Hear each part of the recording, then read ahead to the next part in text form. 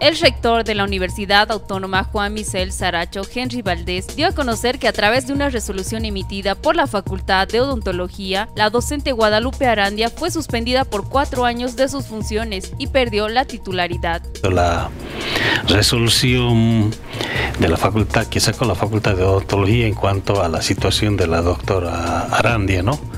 Donde se indica que se lo suspende por cuatro años y pierde hasta su titularidad, ¿no?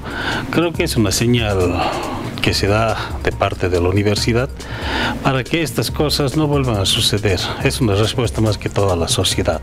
Asimismo, el rector de la Casa de Estudios manifestó conformidad ante la resolución emitida. Sin embargo, señaló que se presentan casos similares, procesos que están por concluir.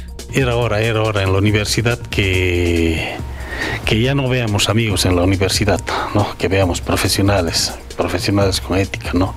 Y si hay más denuncias, yo creo que de la misma forma se debería proceder. Hay procesos que ya han concluido, por ejemplo, se lo dio un año, creo, fuera de la universidad a un docente.